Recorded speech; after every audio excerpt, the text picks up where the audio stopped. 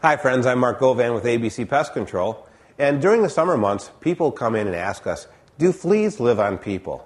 Well, sometimes, and let's say maybe one, 5% of the actual human population may have problems with fleas actually living on them, but that's normally as a secondary cause because of uh, pets maybe living with them, or maybe they sleep with a pet on a regular basis, and those fleas have actually jumped off of the pet and may feed on the host during the night.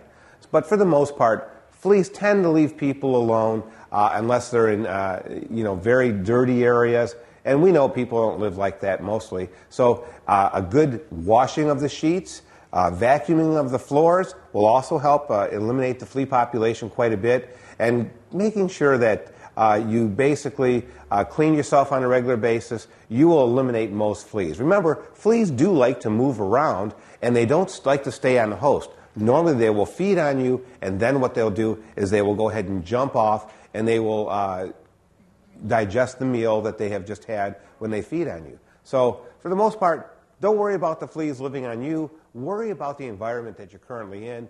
Keep that environment clean. Keep uh, your pets uh, treated on a regular basis. If you have a flea collar or something for your pet, that will help tremendously as well. I'm Mark Govan here with ABC Pest Control in Largo, Florida, hoping you have a pest free day.